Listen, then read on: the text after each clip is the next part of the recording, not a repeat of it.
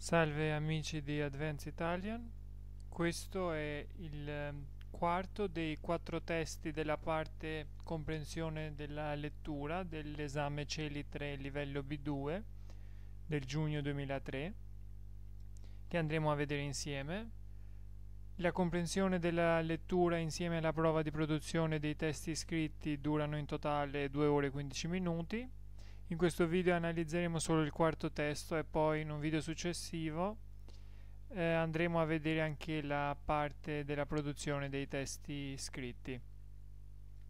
E vi ricordo che gli altri tre testi, eh, ossia le tre parti della prova di comprensione dei testi scritti, li potete trovare all'interno del mio canale Advance Italia nella playlist Celi 3 eh, B2 comprensione dei testi scritti.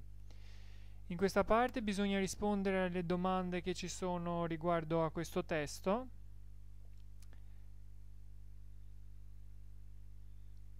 Bisogna rispettare il limite di parole che ehm, avete tra parentesi. Io vi consiglierei di leggere prima la domanda e poi cercare le risposte nel primo paragrafo. Cominciamo. Come viene definita questa zona e per quale motivo? Da un minimo di 15 ad un massimo di 20 parole. Le magnifiche Alpi Giulie. Negli anni 50 qui ci sciava Zeno Colò e non c'erano questi moderni impianti di risalita, ma eh, chi amava le montagne, la montagna faceva di tutto pur di arrivare in quota quassù nelle magnifiche Giulie, racconta Gianfranco Cerrato, che gestisce il rifugio L'Arche da 107 anni sentinella del monte Lussari e del suo santuario. Siamo nel cuore dell'Alto Friuli, eh, in quel punto preciso dove a nord l'Italia diventa Austria e a est diventa Slovenia e eh, un solo colpo d'occhio si abbracciano le cime di tre stati un territorio non per niente definito finestra sull'Europa. Quindi la zona viene definita finestra sull'Europa perché si trova nel confine tra Italia, Austria e Slovenia. Scriviamolo su Word in modo da poter anche leggere il numero di parole.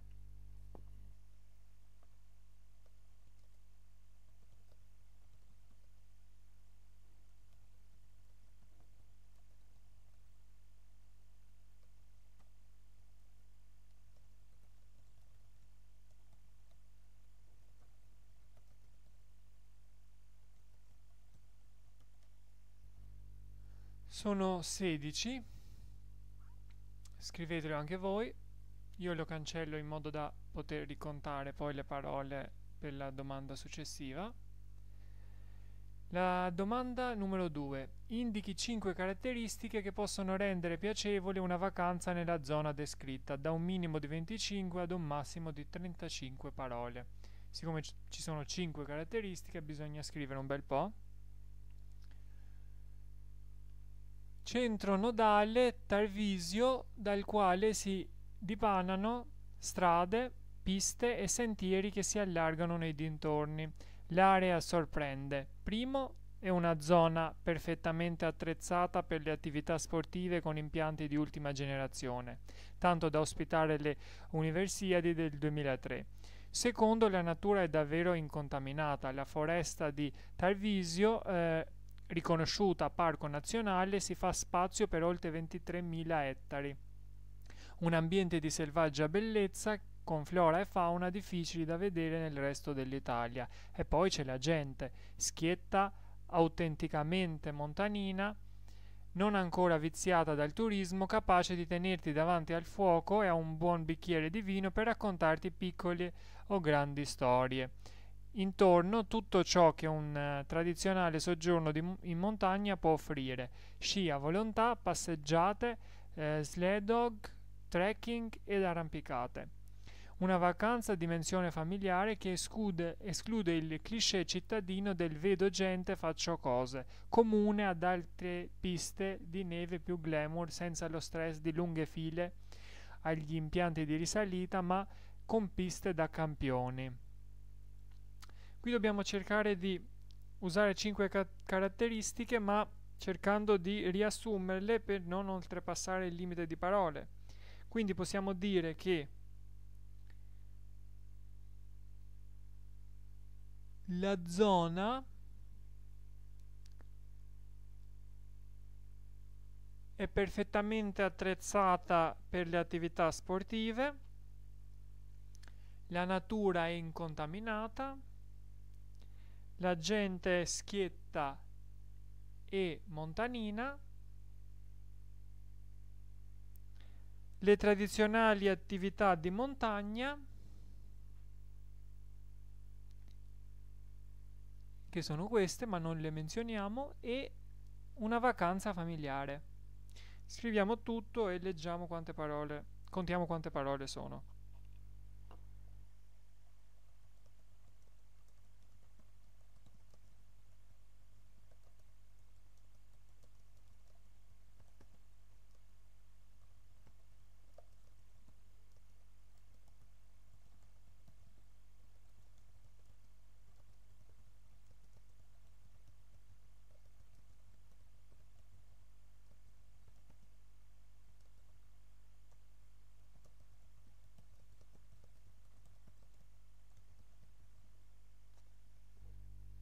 Sono in totale 28 parole.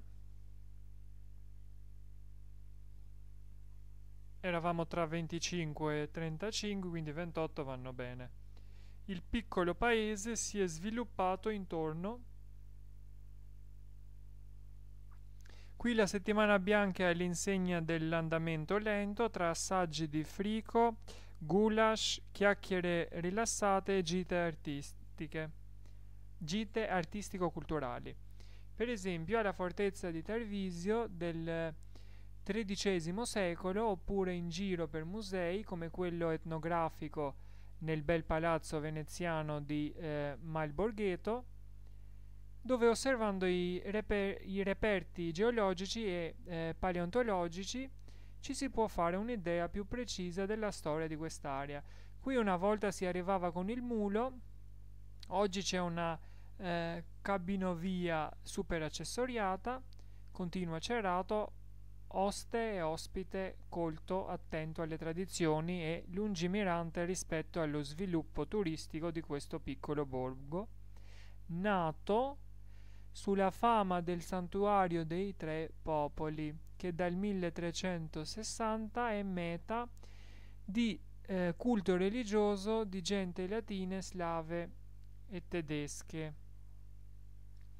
Qui possiamo dire che il piccolo paese si è sviluppato intorno allo, alla crescita turistica e alla fama del santuario dei tre popoli. Sono questi i punti. E poi rimaniamo sempre tra 10 e 15 parole. Proviamo a scriverla.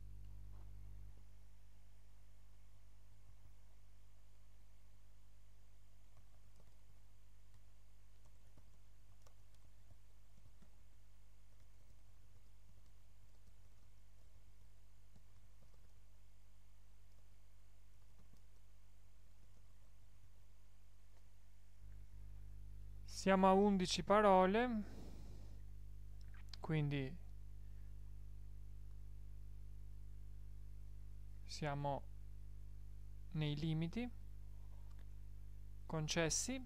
E l'ultima domanda è quale fatto fu considerato straordinario nella storia della statuetta di legno Nell'antichità un pastore che cercava le sue pecore smarrite trovò quassù una statuetta di legno raffigurante la Vergine. La, la prese e la portò a Caporosso. Il giorno dopo però la statuetta fu trovata circondata da un gregge di eh, pecore proprio nello stesso punto dove il pastore l'aveva raccolta. Lì fu costruita una cappella. Spiega Gianfranco mentre la moglie Adele porta in tavola fumanti chalsons, agnolotti fatti con eh, patate ed erbe di montagna. Quindi il fatto qui è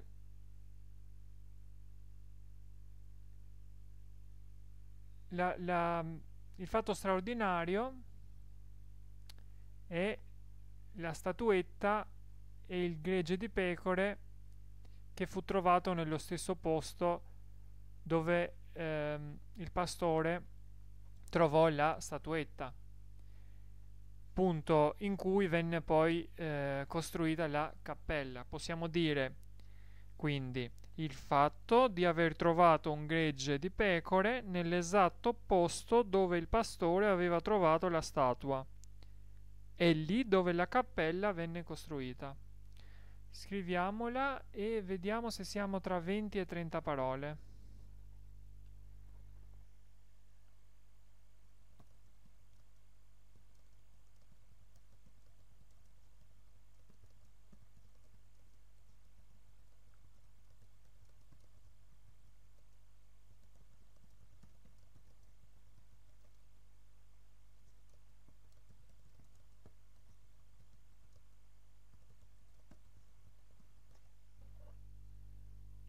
26 parole, quindi tra 20 e 30. Vi ricordo che nell'esame non potete usare il computer, dovete scrivere su un foglio, però più o meno cercate di contare visualmente, non contate dopo ogni parola che scrivete, più o meno potete farvi un'idea tra 10, 20 e 30. Ehm, queste sono le risposte di eh, questa parte che è l'ultima eh, parte della comprensione dei testi scritti.